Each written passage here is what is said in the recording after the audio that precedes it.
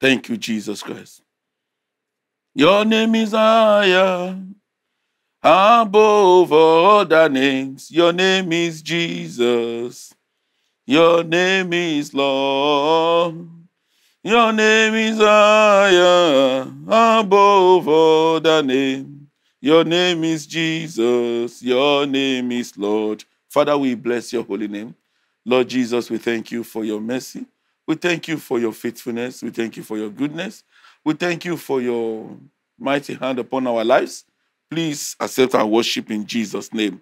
Lord, today, Monday, November 28, 2022, please be with us. Send your word to our heart to heal, to deliver, to set us free. In Jesus' name.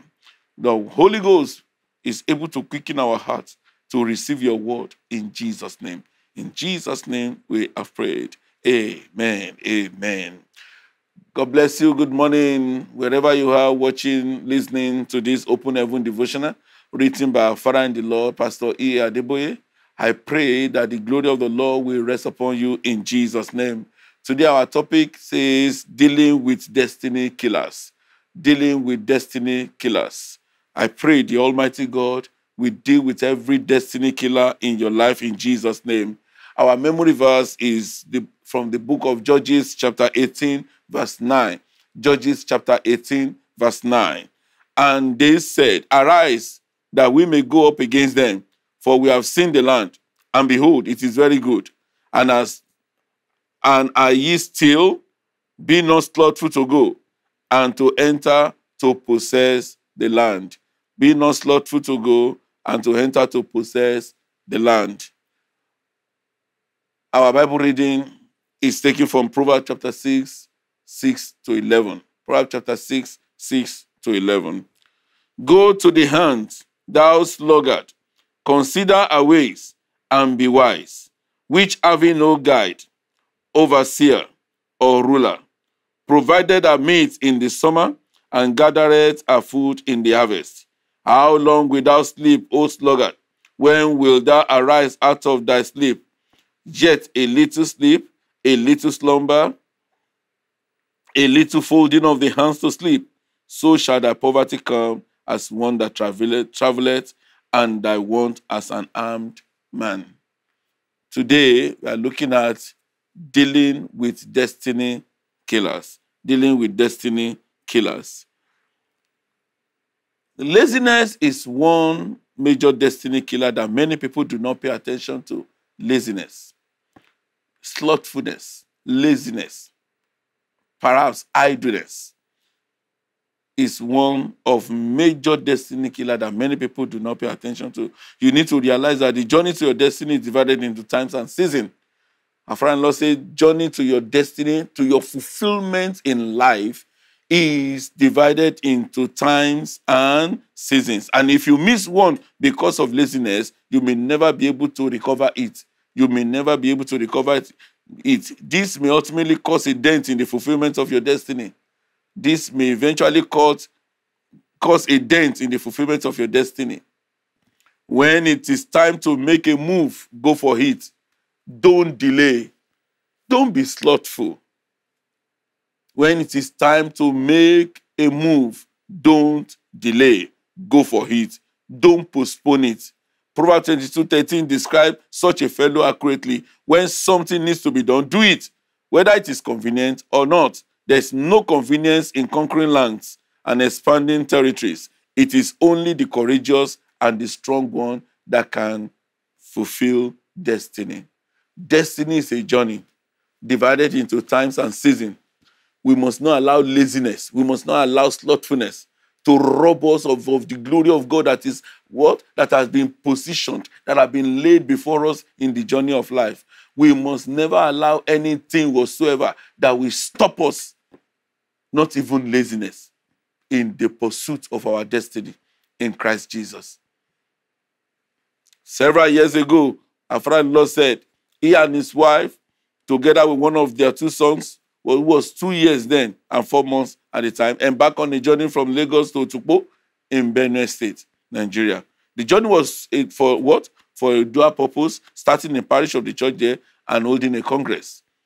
It was during the rainy season, and a major bridge on the way between Ore and Benin had been swept away by flood. When we got there and found no bridge, we have to they have to sleep in the car that night. The bridge had been swept, swept off by flood. So they had to sleep in the car that night.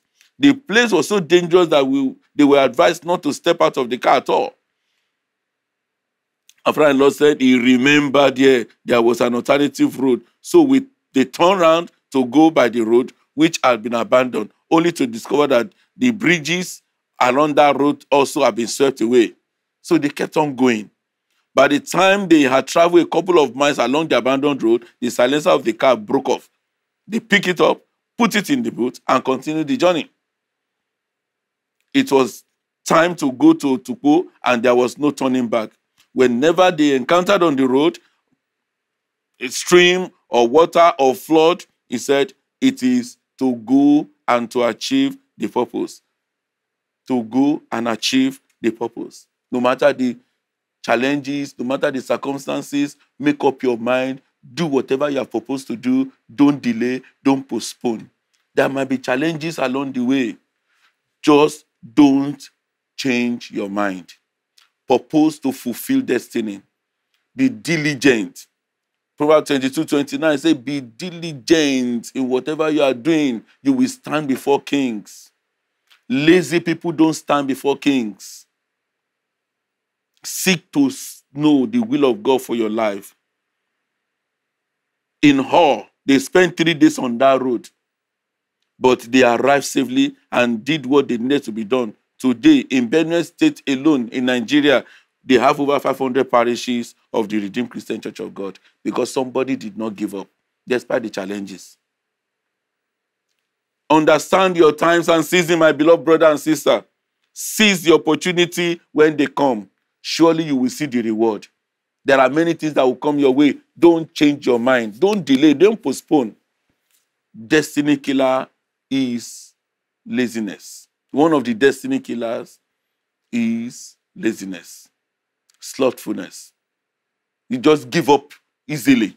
It's not working, then you give up. No, put more effort. Put more effort. Let God help you, strengthen you, and you will not fail in the name of Jesus Christ. So, despite the road was dangerous, have been swept away by flood, they did not say, Let's go back. Don't forget, there was a little child there. Many of us before we we got married, we were fervent, we do everything until when we get married, maybe there's a baby one or two, we begin to give excuses. Oh, I can't do VG again. I can't go to church during the week. I will only go to church on Sunday because of my babies. But before you have your babies, you were fervent, you were zealous, you were serving the Lord. May the Lord give everyone understanding in Jesus' name. Amen. Our hymn today is I am pressing on the upward way. I am pressing on the upward way. Keep pressing. You don't know what is going to happen tomorrow. Keep pressing.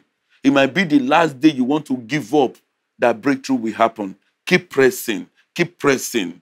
Don't allow laziness. Don't allow social media. Don't allow being in comfort zone rob you of your destiny. I'm pressing on the upward way.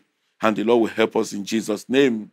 Our memory verse, once again, is in Judges chapter 18, verse 9. Judges chapter 18, verse 9. And they said, Arise, that we may go up against them, for we have seen the land, and behold, it is very good. Are you still?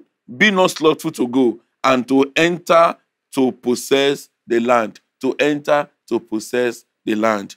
Proverbs chapter 18, verse 9, dealing with destiny killers. Our focus today is laziness, slothfulness. Don't be lazy. Don't be lazy.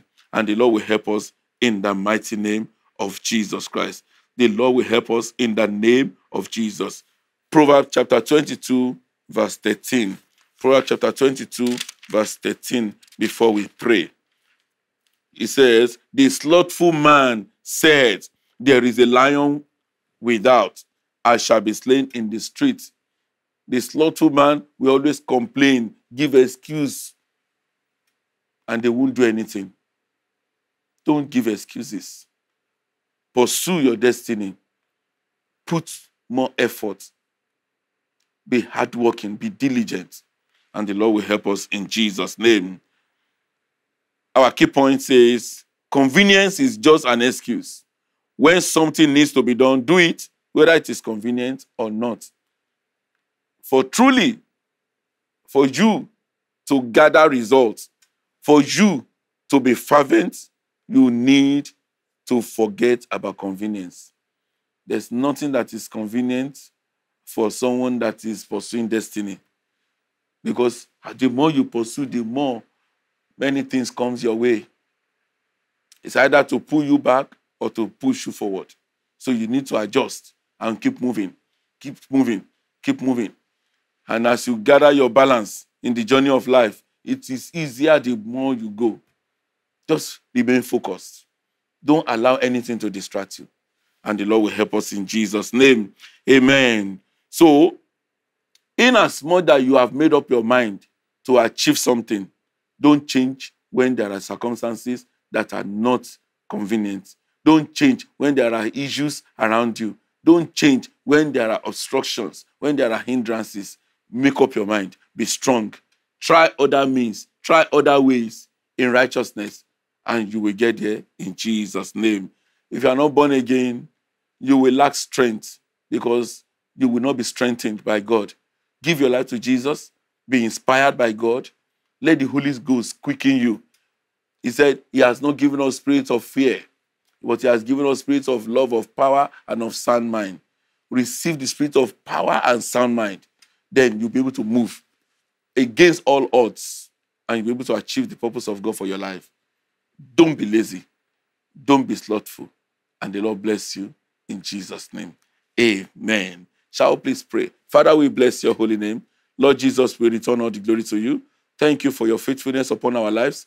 We return all the glory to you in Jesus' name. Lord, today, every spirit of laziness and slothfulness be destroyed in your church, in our teenagers, in our youths, in our men and women in Jesus' name. Help us to find fulfillment as we pursue our glorious destiny in you, in Jesus' name. So shall it be. In Jesus' name, we have prayed. Amen. God bless you. See you soon. Don't forget, Laziness is a destiny killer. God bless you. Bye for now.